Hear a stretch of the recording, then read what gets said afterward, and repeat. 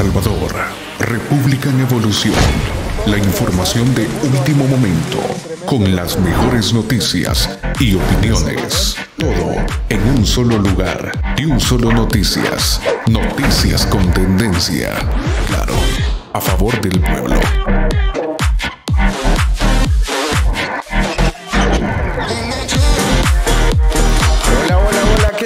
Están, estimados amigos? Excelente día, excelente domingo. Espero que todos la estén pasando muy, muy, muy, muy bien. Bienvenidos a una emisión más de De un Solo. Es un gusto poder estarles acompañando con todas las noticias que están aconteciendo en nuestro país, El Salvador. Señores, como ya se nos hizo costumbre, tenemos en este día domingo el resumen de las noticias más importantes que han acontecido durante toda esta semana. Un breve repaso de toda la información que ha ocurrido en nuestro país, El Salvador.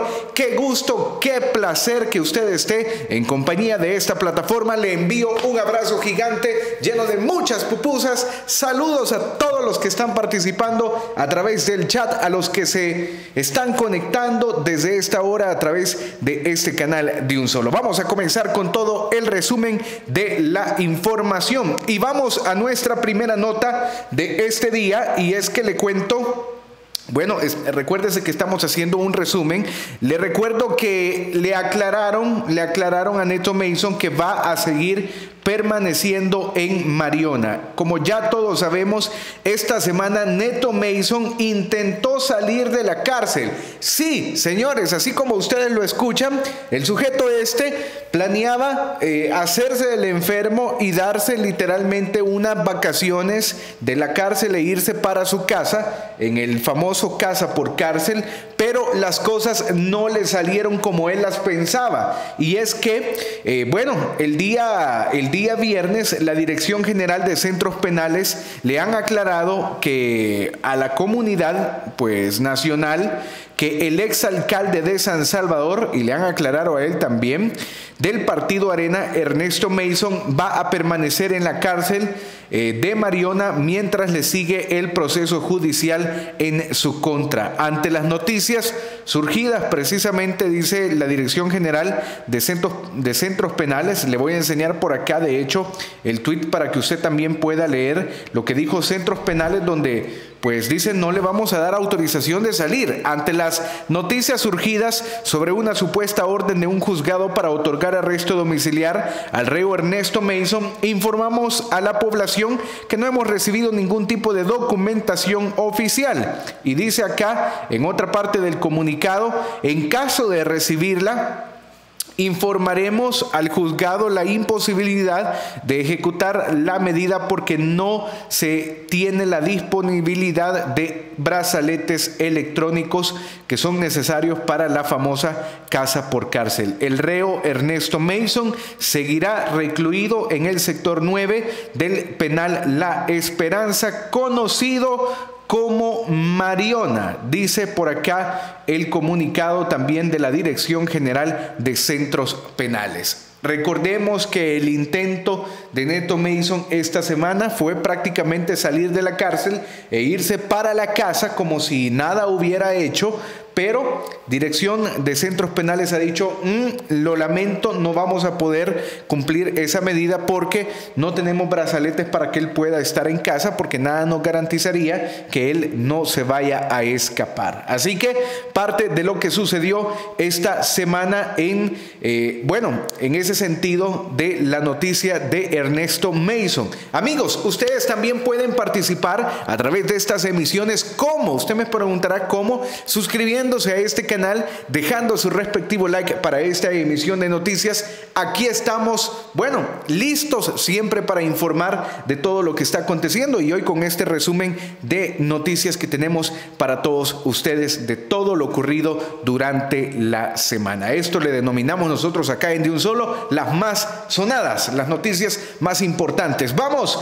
hablando sobre esas noticias, le cuento que Ana Vilma Escobar habría recibido 10 mil dólares mensuales en concepto de sobresueldo durante cinco años Esto a pesar de que ella negó en todo momento en la comisión realizada esta semana, ella negó que haya recibido dinero del pueblo salvadoreño. Imagínense ustedes, de acuerdo a las confesiones del expresidente Elías Antonio Saca, la arenera Vilma Escobar recibió por cinco años como vicepresidenta de la República 10 mil dólares mensuales en concepto de sobresueldos. Ella negó en todo momento en la famosa comisión que busca la verdad, en la comisión que lo que hace es pues establecer realmente qué es lo que estos sujetos le han hecho a nuestro país, cuánto se han robado. Y esta comisión preguntó en reiteradas ocasiones a esta mujer, Ana Vilma, cuánto se había robado de la gente,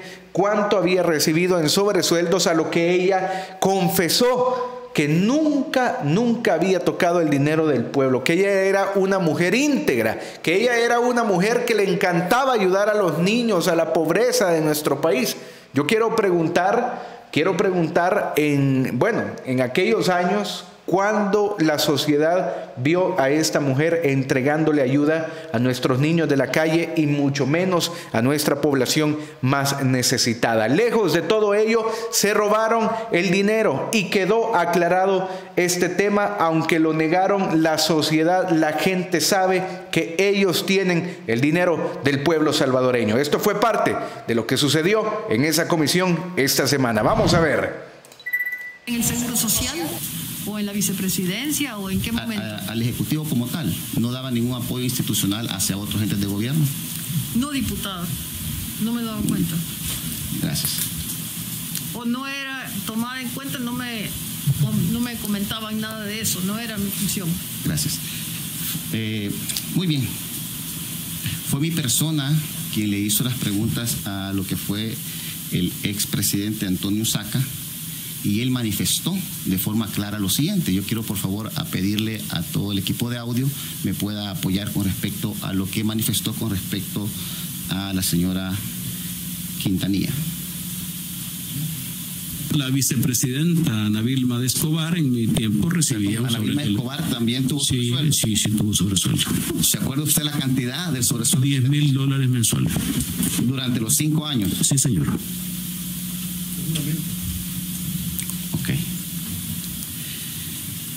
Él manifestó, si gusta lo ponemos nuevamente, porque creo que nos, sí. La vicepresidenta Ana Vilma de Escobar en mi tiempo recibía un Ana Vilma de Escobar también tuvo sí, sobresueldo. Sí, sí, tuvo sobresueldo. ¿Se acuerda usted la cantidad del sobresueldo? 10 mil dólares mensuales. Durante los cinco años. Sí, señor. El presidente Antonio Saca manifestó que usted recibía sobresueldo.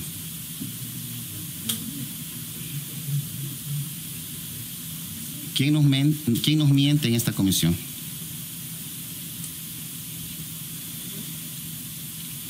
¿Nos miente el señor Antonio Saca o nos miente usted? Presidente. ¿A, ¿A qué palabra le da, le da validez usted?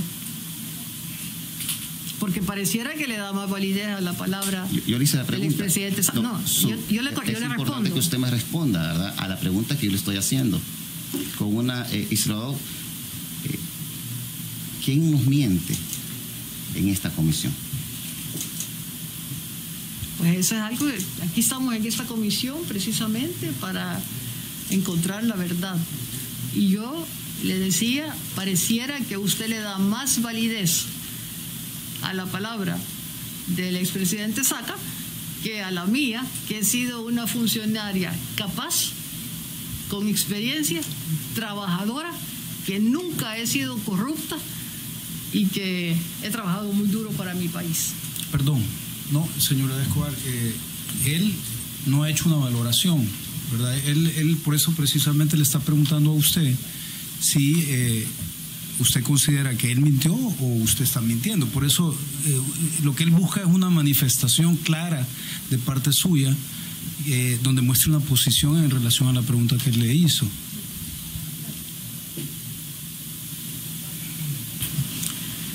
Yo creo que precisamente estamos en la comisión para la búsqueda de la verdad.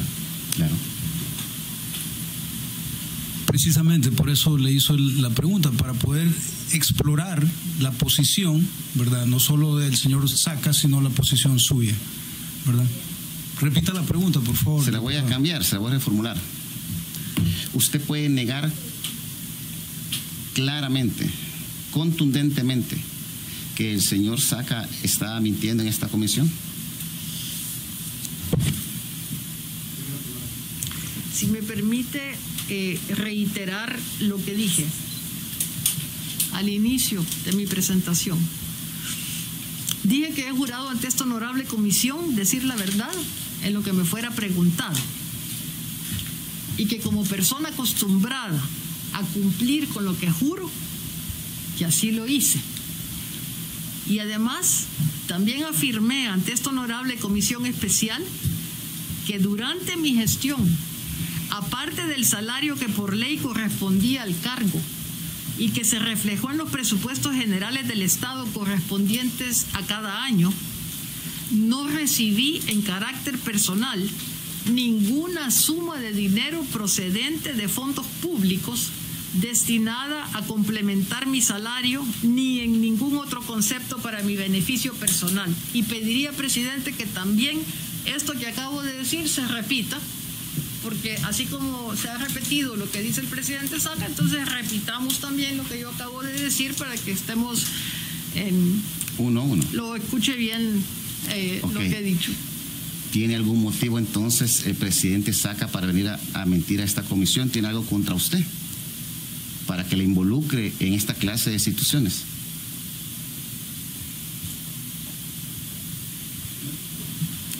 Bueno, ahí está parte de la comisión. Usted se recuerda que esta señora pasó negando, pasó negando durante toda la comisión que ella haya recibido dinero. Sin embargo, pues no pudo justificar, no pudo, no pudo justificar varios miles de dólares en sus cuentas.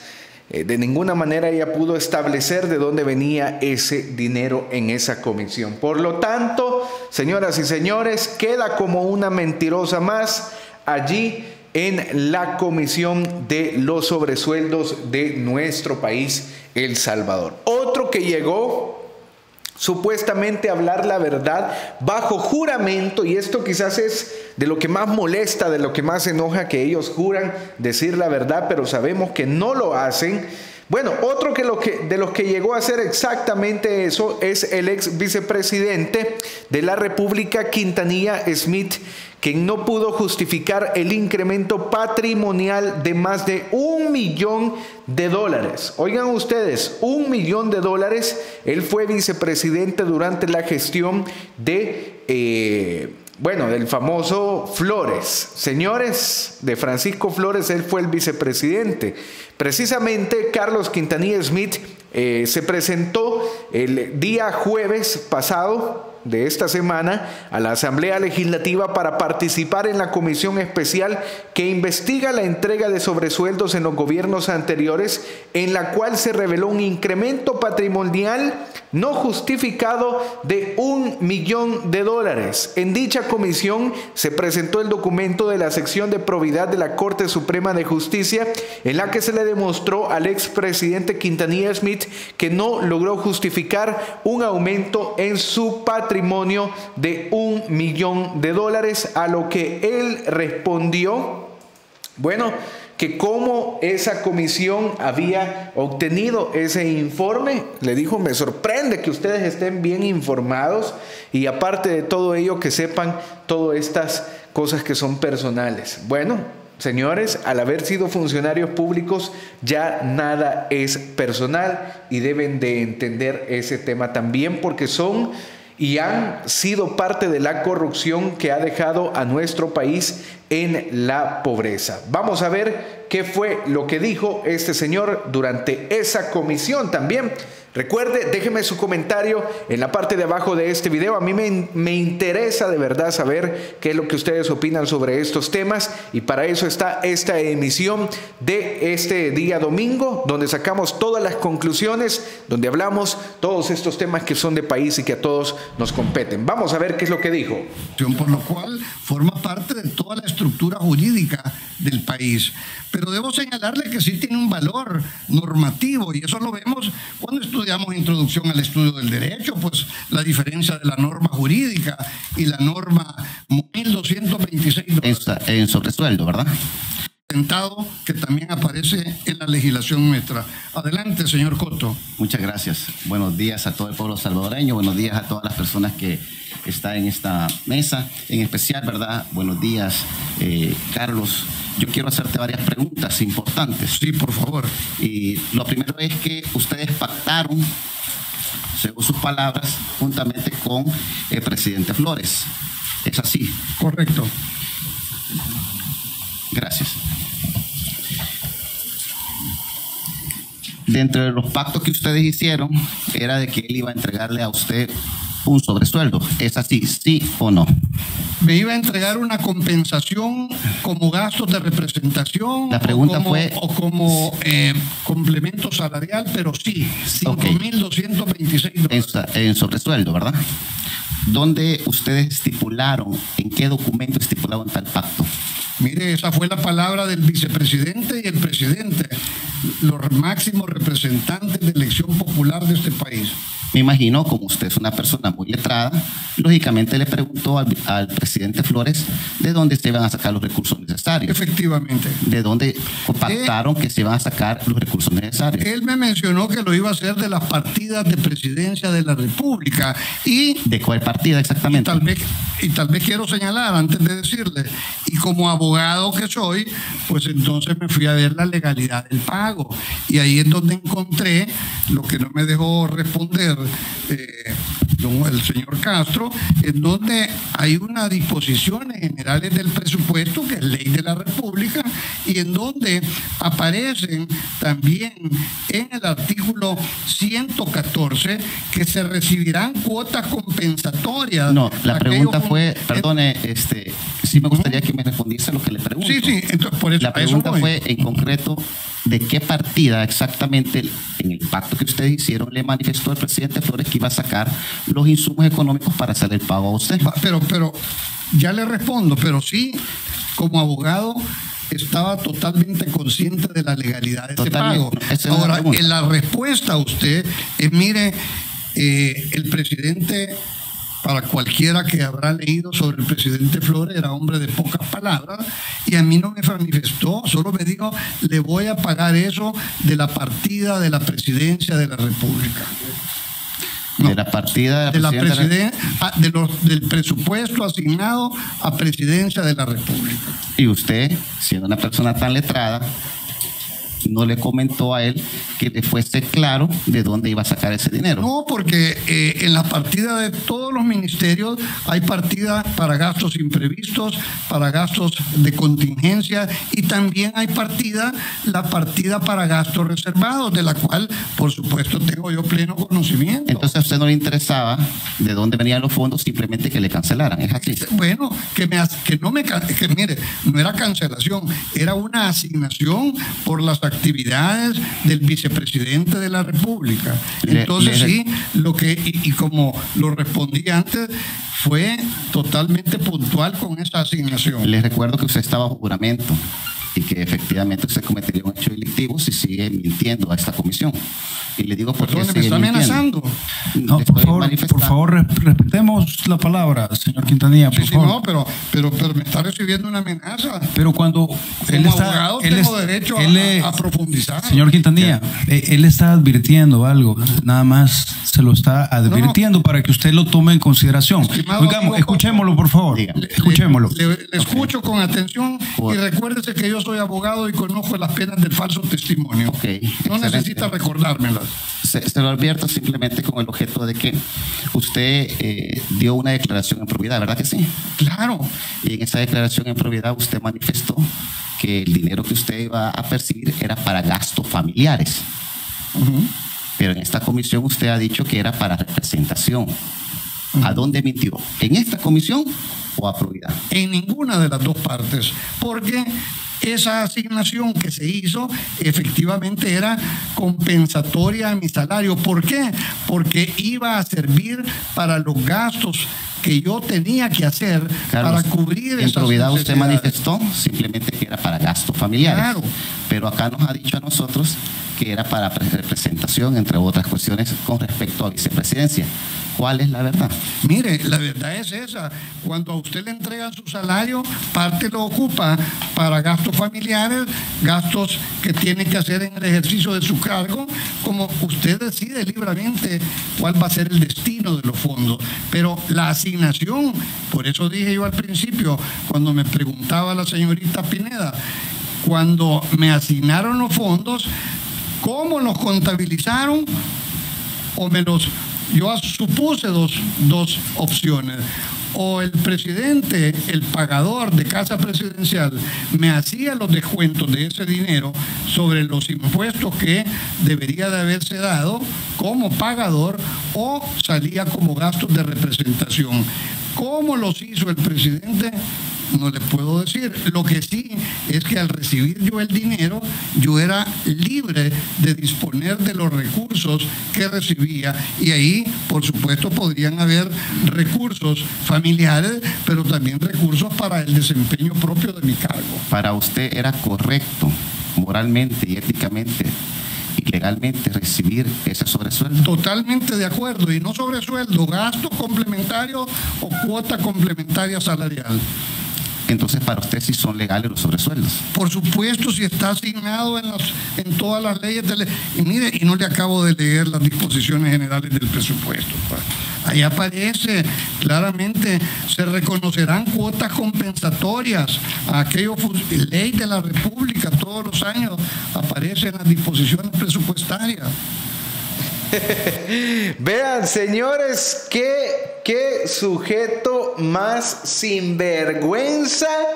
Sinvergüenza donde dice técnicamente que sí, que él, que él eh, disponía de todos esos recursos y que efectivamente, que efectivamente pues esto es algo que, ah, con lo que él estaba en total acuerdo. Ahí lo acaba de escuchar usted, no es necesario un traductor para esto. Increíble cómo se repartían el pisto de la gente. Así tenían al pueblo sumergido en la pobreza. Esto fue parte de lo que conocimos en esta comisión de esta semana, en la comisión de los sobresueldos. Vamos a más noticias sonadas durante toda esta semana y esta es una noticia que nos entregó el presidente de la República el día de ayer muy temprano. Y es que le cuento lo siguiente, señoras y señores. Eh, bueno, el presidente ha hablado de una incautación eh, de una embarcación con 1.4 toneladas de estupefacientes a 490 millas náuticas de nuestro país, El Salvador. Eh, a primeras horas del día de ayer, el sábado se conoció de manera preliminar sobre la incautación de una embarcación que transportaba 1.4 toneladas de drogas eh, pues a 490 millas náuticas de la costa salvadoreña, además de la captura de la tripulación constituida por seis extranjeros de tres nacionalidades diferentes, el presidente de la República dio el aviso a nivel nacional sobre esta gran captura y esta eh, pues embarcación con 1.4 toneladas de estupefacientes. Información, dijo el presidente, nuestra Fuerza Naval acaba de interceptar una embarcación a 490 millas náuticas de nuestras costas. Se calcula que podría traer 1.4 toneladas de estupefacientes con un valor de 35 millones de dólares.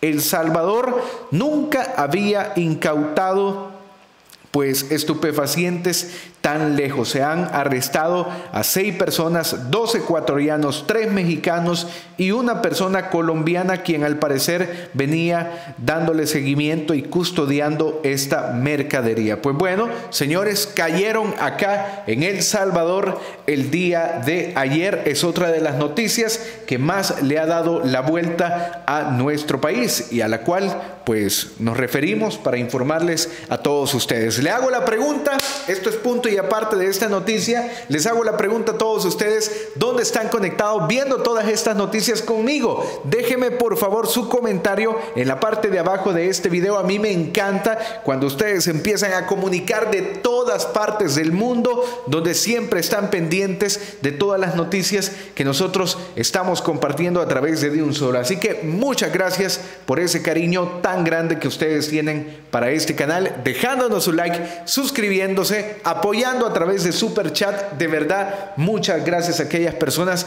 que están allí constantemente también ayudando a través de estas maneras. Bueno, estimados amigos, vamos a más noticias a través de esta plataforma y tenemos que hablar del caso del caso de la arenita deslactosada 4.0 y es que uno de los ex precandidatos a la presidencia por el partido Arena, Gerardo Aguad, ha anunciado que todos los partidos de derecha se van a unir para el año 2024 y de esta manera tomarse el país. Al parecer, Arena sigue sin entender que el pueblo salvadoreño ya no los quiere y lejos de todo ello, que el pueblo salvadoreño los detesta, que el pueblo salvadoreño los aborrece, los vomita como usted quiera llamarle, pero esta gente de la derecha de nuestro país sigue soñando con que se van a tomar El Salvador y al parecer este fulanito no ha entendido que El Salvador ya es un país totalmente diferente de toda esa corrupción en la que ellos tenían a nuestro país. Veamos las declaraciones del fulanito. ¿Cómo es que se llama? ¿Cómo es que se llama ese hipotones? Aguad no sé qué. Ah. el resultado final, que es la creación de un bloque de partidos de derecha que se va a llamar Unidos por El Salvador. Este bloque de derecha, eh, el cual van a participar varios partidos políticos que en los próximos días van a estar anunciando eh, su ingreso a este bloque, es para prepararnos para la elección del 2024, que viene presidente, vicepresidente, diputados y alcaldes. Creemos firmemente que hay que empezar a trabajar en este territorio, que hay que empezar a crear un plan de gobierno escuchando a la gente, y no un plan de gobierno que se vaya a hacer en una oficina. Y es por eso que le anuncio al pueblo salvadoreño que voy a aspirar, primero Dios, a la candidatura a la presidencia de la República del Salvador por el bloque Unidos por El Salvador. Creemos firmemente que hay mucho que hacer, creemos firmemente que hay ciertas cosas que no se están haciendo bien y queremos decirles también que a partir, y a partir de ahora, ¿estamos? Que a partir de ahora vamos a empezar a hacer una oposición, pero una oposición respetuosa, una oposición con propuestas, esta gente, esta gente sí que no entiende. Pero dicen por ahí que no se puede hacer nada con este tipo de gente. A la gente necia, a la gente burra, hay que dejarla, hombre. Ahí dejen los que sueñen que van a ser presidentes. Ahí dejen los que sueñen que van a volver a tomarse el... Ay, díganles que, bueno, no les decimos que sí porque realmente no. No, no, no, no, no. El pueblo salvadoreño los detesta. Pero pues bueno, ellos seguirán soñando, seguirán pensando que van a llegar a ser eh, presidentes de la República. Bueno, ¿Qué le puedo decir, estimados amigos? Déjenme su comentario también sobre esta nota en la parte de abajo, qué es lo que usted opina o a través del el chat. Vamos a más información a través de esa plataforma. Señores, y así están las cosas como usted puede verlas allí en pantalla. Le voy a mostrar. Este sujeto, este sujeto que usted tiene ahí en pantalla es nada más y nada menos que eh, uno de los famosos Cáceres, Carlos Cáceres, Calixto Mejía, Hugo Flores y varios exfuncionarios en el gobierno de Mauricio Funes del FMLN ya fueron trasladados esta semana al sector número 9 del Centro Penal La Esperanza, conocido como Mariona. Esto mientras continúan las investigaciones en su contra por, evidentes casos de corrupción, mientras que Erlinda Handal y Violeta, eh, Violeta Mengíbar también están en cárcel de mujeres. bueno, literalmente ya están en esa cárcel. Eh, han dicho las autoridades, también hemos habilitado el sector 9 del Centro Penal La Esperanza para Carlos Cáceres, Calisto Mejía y Hugo Flores detalló la cuenta oficial de Dirección General de Centros Penales. Cáceres, eh, la persona que usted ve ahí en pantalla, fungió como ministro de Hacienda. Calixto Mejía eh, funcionó también como ministro de Trabajo. Hugo Flores como ministro de Agricultura y Ganadería, Erlinda Handal como viceministra de Tecnología y Violeta Mengíbar como ministra de Salud. Señores, Violeta Mengíbar se clavó dinero del pueblo, Carlos Cáceres lo hizo de igual manera, eh, bueno, también lo hizo... Eh, pues literalmente Hugo Flores, Calixto Mejía también, Lina Paul también lo hizo, Guillermo López Suárez también lo hizo, Gerson Martínez también lo hizo con casi 300 mil dólares. Salvador Sánchez Serén lo hizo con más de medio millón de dólares. Así que, bueno, es parte de la información de esta semana, lo que más ha sonado durante estos días. Hablando sobre esta misma nota también, la cara de pocos amigos se le ve allí en esa fotografía y es que estas exfuncionarias del FMLN ya se encuentran en cárcel de mujeres. El día miércoles de esta recién pasada semana, los equipos de la Policía Nacional Civil junto a la Dirección General de Centros Penales trasladaron a las exfuncionarias del FMLN acusadas de los delitos relacionados a la corrupción al Centro Penal de Mujeres en Ilopango. La ex ministra de Salud Violeta Mengíbar y la ex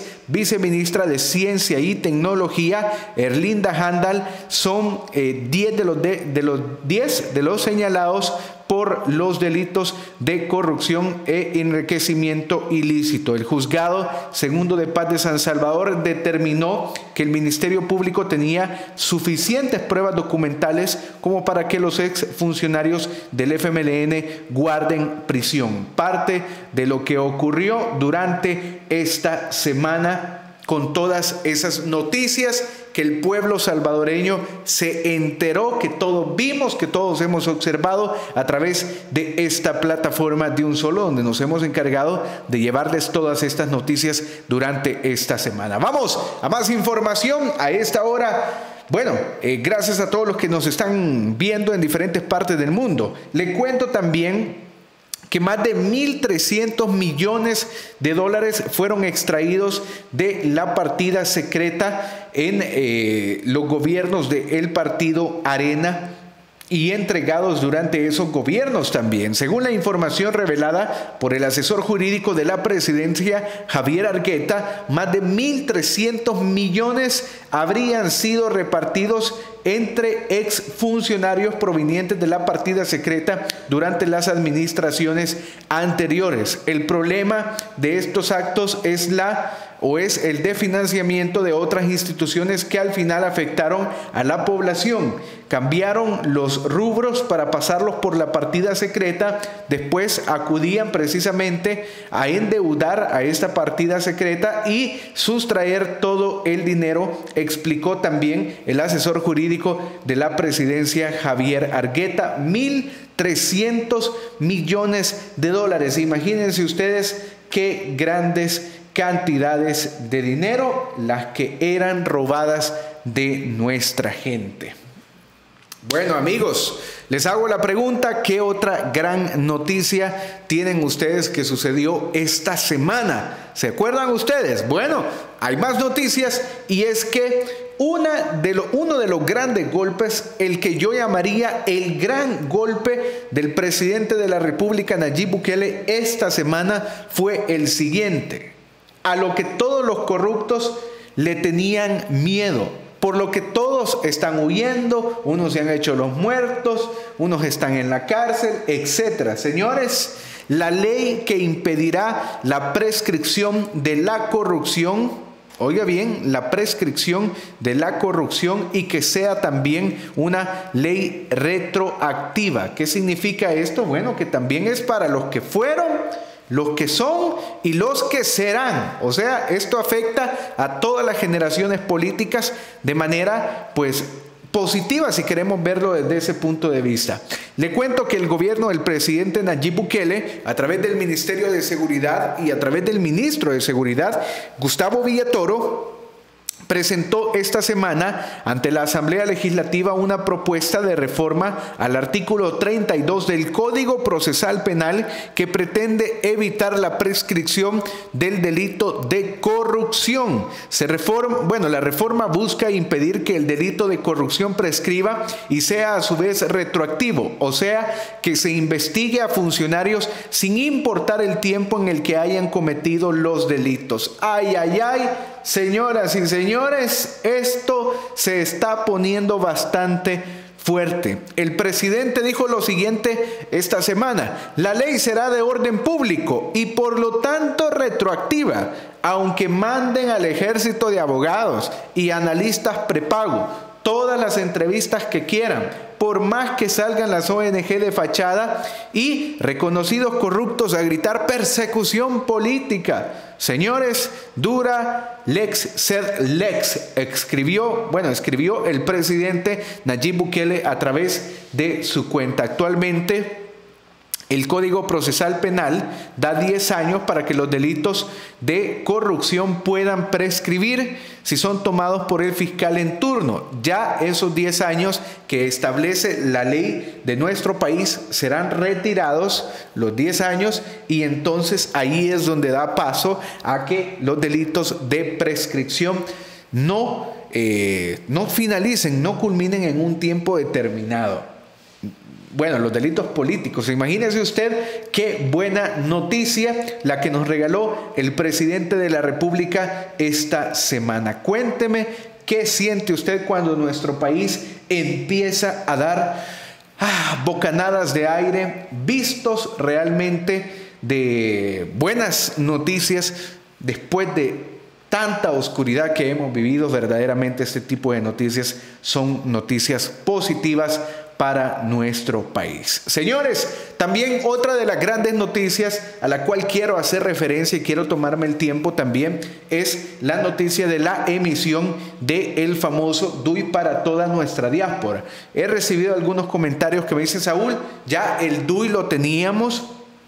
Bueno, pero recordemos que esto es para mejorar toda la infraestructura del famoso DUI, del documento único de identidad para nuestra diáspora alrededor del mundo, pero en especial para Estados Unidos. Y es que aprobaron esta semana eh, incorporar más de 14 millones de dólares para facilitar la emisión del DUI en el exterior. Los diputados de la Asamblea Legislativa aprobaron con 64 votos, que son los suficientes, la incorporación de 14 14 millones de dólares al Registro Nacional de las Personas Naturales, RNPN, para facilitar la emisión del DUI en el exterior. La embajadora de El Salvador ante Estados Unidos, Milena Mayorga, expresó que los consulados comenzarán a emitir los documentos únicos de identidad a partir del próximo eh, a, partir del próximo precisamente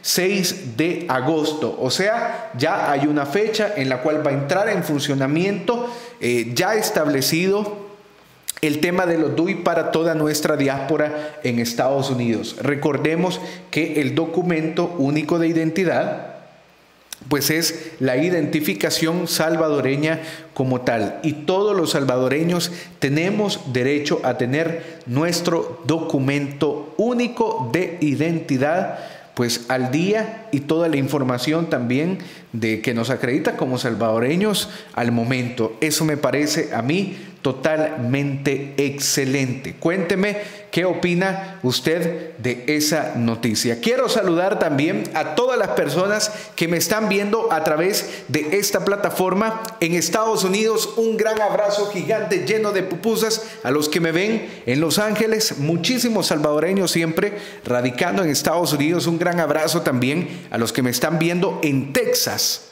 Muchos, muchos, muchos salvadoreños observándome en Texas. Gracias por ver siempre las noticias que constantemente estamos compartiendo acá en De Un Solo. Gracias a los que me están viendo en San Francisco, gracias a los que me están viendo en Nueva York, en Washington también, en Colorado también, muchos salvadoreños siempre por allí informándose a través de esta plataforma. Qué gusto, de verdad, qué placer me da que ustedes puedan ser parte de este canal y que podamos tener esta información de primera mano directamente para todos ustedes. Bueno, vamos a más noticias y le comento que esta es una de las noticias que más ha causado pues alegría en el pueblo salvadoreño y es que el ministro de Agricultura y Ganadería de nuestro país, David Martínez, ha propuesto ha propuesto castigar con cárcel a aquellas personas que maltraten a nuestros animalitos, a nuestros perritos, a nuestros gatitos. El ministro de Agricultura y Ganadería, David Martínez, presentó la propuesta de la reforma de ley precisamente que busca castigar con cárcel eh, a toda aquella persona que maltrate a los animalitos, sustituyendo las multas que hasta la fecha no habían impedido esta práctica dentro de la sociedad salvadoreña. Se acabó la consideración con los maltratadores y aquellas personas que han estado pues eh, violentando los derechos de los animalitos. Ya está lista la propuesta de ley al Código Procesal Penal también para incluir con cárcel Oiga bien, incluir con cárcel a todos aquellos que están realizando estas acciones de violencia en contra de nuestros animalitos y en específico de los animales de compañía, dijo el eh, señor David Martínez. Acabó se acabó toda esa consideración con los maltratadores y asesinos de animalitos de compañía. Ya está lista la propuesta, la cual la vamos a llevar a la Asamblea Legislativa y tenemos 100% por seguro que toda la Asamblea Legislativa va a apoyar, o por lo menos la bancada del pueblo, la bancada CIAN, van a apoyar esta propuesta en la cual se establece que los animalitos pues son estos animalitos de compañía que a nadie le hacen daño, señores. Hay gente que no le gustan los animalitos muy bien, están en su derecho, pero eso no da derecho a maltratar. Yo he conocido mucha gente que dice, no, a mí no me gustan los animales y los maltratan. No puede ser. Hoy ya con esta ley se establece un precedente de aquellas personas que ejercen violencia contra nuestros animales que pueden ser ya procesados. Y esto me parece excelente que el gobierno de la República del presidente Nayib Bukele lo esté llevando a cabo. Cuénteme usted qué opina sobre ello y quiero hacerle una pregunta que yo sé que es muy diferente, pero quiero preguntarle y que usted me cuente cuántos animalitos tiene en casa. ¿Cuántos animalitos, ok? ¿Cuántos perritos, cuántos gatitos, cuántos pajaritos, cuántos animales usted tiene en casa? Cuénteme y eso seguramente nos va a ir haciendo pues personas de mejor, eh, llamémoslo esta, o personas de bien, con un corazón puro y sincero.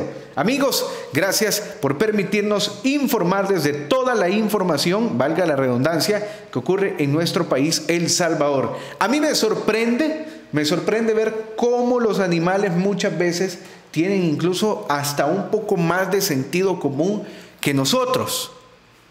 Ojo, en esta calle donde le voy a enseñar esta nota curiosa, en esta calle donde le voy a mostrar, han habido muchos atropellos de personas que no quieren usar la famosa pasarela. Las pasarelas son estas, eh, bueno, no sé cómo le dicen en otras partes del mundo, pero sirve para pasarse la calle y no ponerse en riesgo.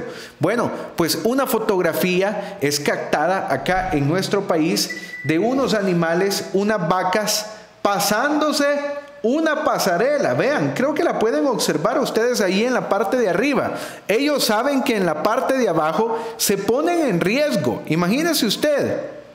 Y los animalitos deciden pasar por eh, la parte de arriba de la pasarela para no ponerse en riesgo. Señores, una gran lección que nos dan a todos los seres humanos cuando allí hay muchos seres humanos que también no deciden usar la pasarela y es una de las zonas más conflictivas por los accidentes de tránsito y los vehículos que vienen también a excesiva velocidad, personas que no alcanzan a pasarse los cuatro carriles y bueno, se da esta situación. Pero vean qué curiosa imagen a ver si le toman una fotografía de acá de esta emisión y la comparten a través de redes sociales ustedes. Curiosa imagen la que estamos compartiendo de estas vacas, estos bueyes pasándose allí en la parte de arriba mientras mucha gente desobedeciendo por abajo, señores. Increíble.